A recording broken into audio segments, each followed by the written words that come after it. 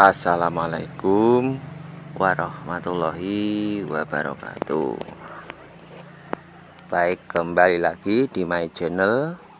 Agus Wahyu Widodo Tetap di kandang Fadilah Farm Yang beralamat di desa Wonokromo Dusun Sumber Kecamatan Gondang Kabupaten Tulungagung. Baik sebelum kita lanjutkan eh, silahkan tekan subscribe bunyikan lonceng tekan like dan share. Tinggalkan pesan di kolom komentar untuk menambah kesempurnaan video-video saya. Baik pada kali ini saya tidak perlu menampakkan muka.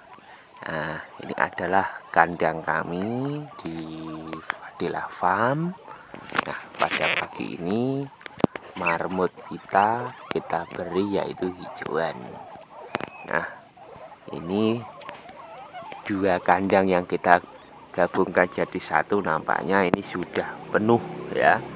Ini yang awal mula eh, kita mempunyai kurang lebih 20 bibit kemarin ya dari 20 bibit kemarin kalau seandainya ini kita tidak menjual bisa menjadi kurang lebihnya yaitu 70 bibit lebih.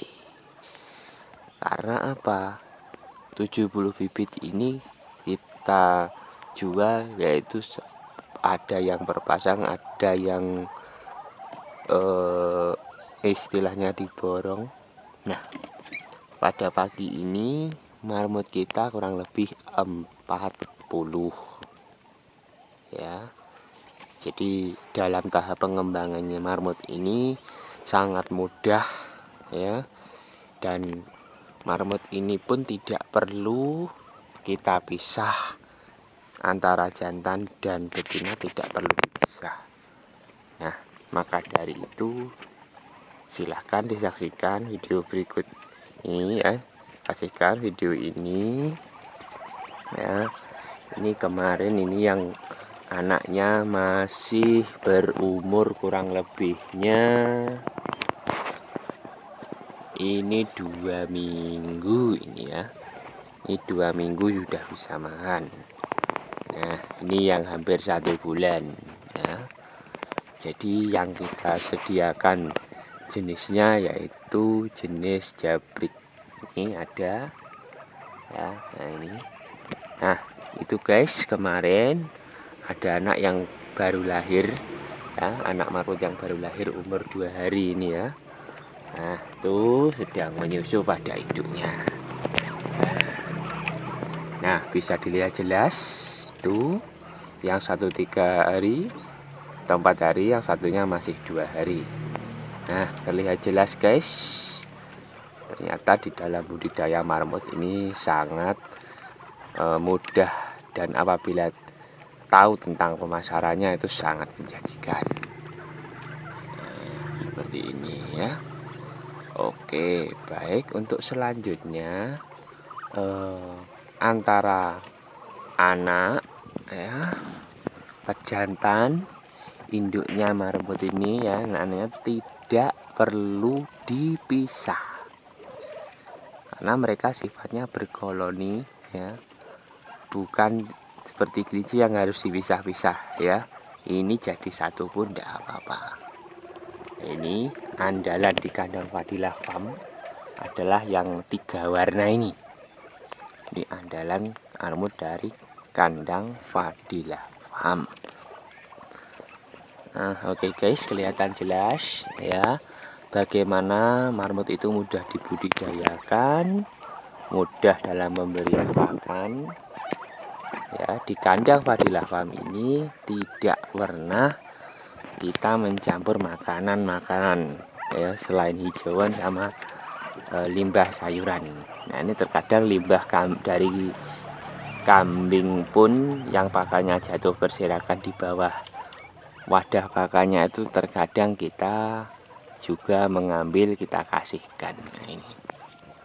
Marmut kalau dikatakan predator sampah memang predator sampah ya sekali lagi jadi kalau ada eh, yang memelihara marmut ya khususnya ini jantan dan betina tidak perlu dipisah ya tidak masalah ya.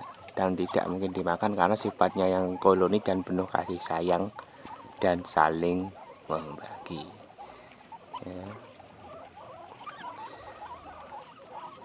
memang ketika marmut eh, dipelihara di langsung di alam bebas atau diumbar sama di kandang itu berbeda.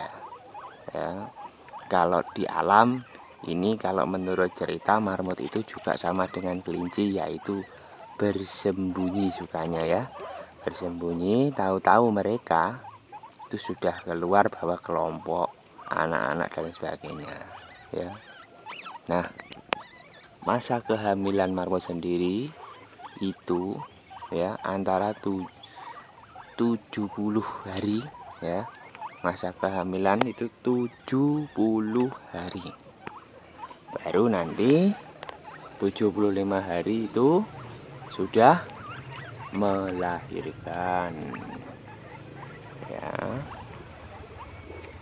Jadi satu tahun marmut ini bisa beranak empat kali ya berarti umumnya normal marmut itu siklusnya setiap tiga bulan sekali itu mesti beranak tergantung dari juga kondisi. Kurang lebih seperti itu.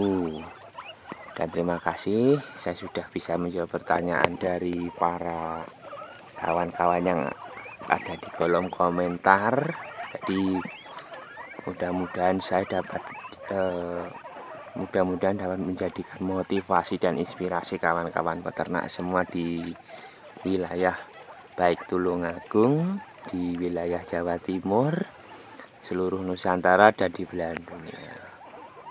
Mudah-mudahan kita semua dapat mengembangkan peternakan marmut atau guinea pigs ini sampai ke pelosok-pelosok jagat dunia amin amin ya rabbal alamin Terima kasih dan selamat uh, beraktivitas.